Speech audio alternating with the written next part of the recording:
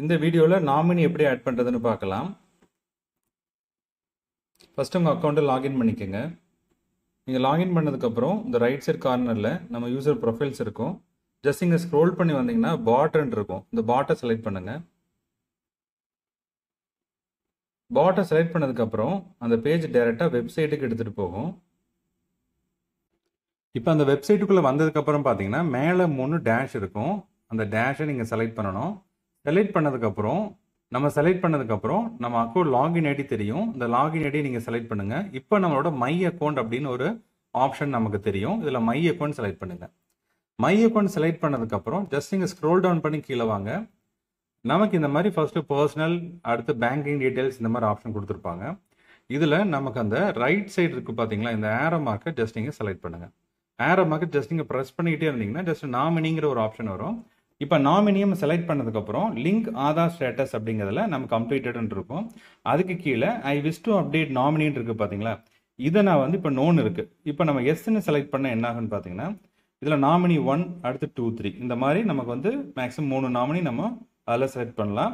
இப்போ first nominee நீங்கள் select பண்ணுறீங்க அப்படின்னா ஜஸ்ட் நீங்கள் ஓப்பன் பண்ணிட்டு இப்போ நாமினிக்கு நீங்கள் நேம் கொடுத்துக்கலாம். இப்போ சப்போஸ் அங்கே வீட்டில் மூணு பேர் இருக்காங்க ஹஸ்பண்ட் அல்லது ஒய்ஃப் இருக்காங்க.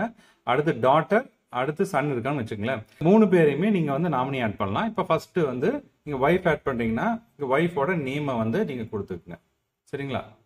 ஹஸ்பண்ட்னா ஹஸ்பண்ட் நேம் கொடுத்துருங்க.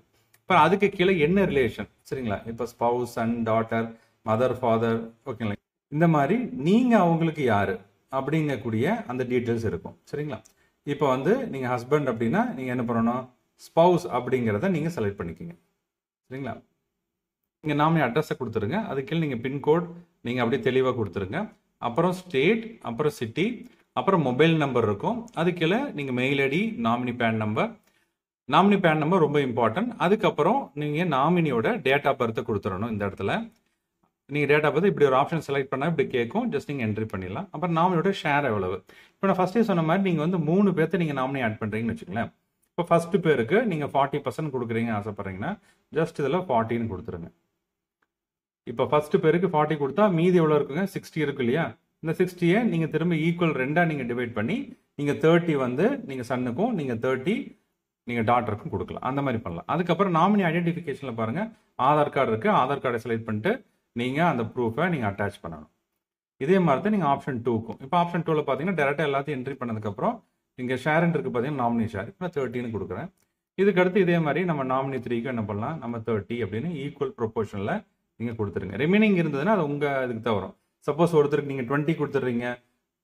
செகண்ட் நாமினிக்கு டுவெண்ட்டி அடுத்து தேர்ட் நாமினிக்கு டுவெண்ட்டி கொடுத்தீங்கன்னா மீதி இருக்கக்கூடிய அந்த ரிமைனிங் ஃபார்ட்டி வந்து உங்களுக்கு இருக்கும். அவ்வளோதான் அதுதான் கான்செப்ட் சரிங்களா?